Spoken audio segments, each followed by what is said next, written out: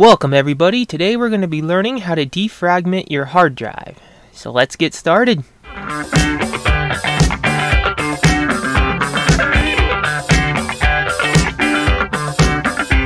Welcome everyone. The first thing you're going to want to do is go down to the taskbar down here. Go over to the left over here to this search icon. Give it a click. And a search menu should pop up here. And you just need to type in defragment. And this should pop up in best match. Give it a click here. Defragment and optimize drives. And this menu should pop up here. Now this is drive C, my main drive. You might have more, but I just have the one drive. And mine is a solid state drive.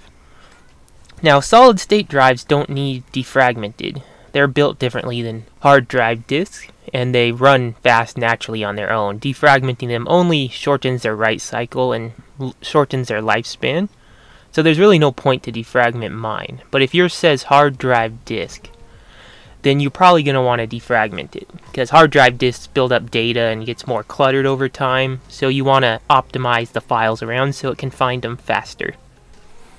So if you have a hard drive disk you can set it to a schedule down here by clicking on turn on and then this will pop up. You can run it as a schedule which is recommended if you have a hard drive. You can set it to weekly, daily, monthly. Weekly is probably good enough though that's what I would set it to. And you can increase task priority if three consecutive scheduled runs are missed.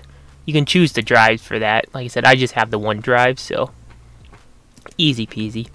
Then click OK. And if you want to do it manually, you can analyze, which you don't really need to do. If you want to, you can, but mainly just click optimize over here. And under current status, it should go through seven or so processes, depending on how big your drive is and it might take a little bit, but when it's done, it should say OK like mine, and 0% fragmented or 1% fragmented, something like that.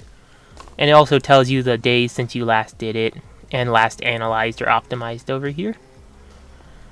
And that's about it. That's how you defragment your hard drive. So let's close it down here. One more thing I want to show you. If you come down to the taskbar, go back to defragment, should pop up pretty quick. You can right click it.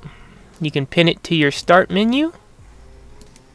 And it'll be over here in the start menu or you can move it around too, wherever you want. And you can also right click, go to more, pin it to your taskbar, and it will be down here on the taskbar too where you can move it around. And you can also right click it, go to more, open file location, you can find it over in here, give it another right click, go to send to, desktop to create shortcut. And that will create a shortcut for you right there to double click and easily get right back to it.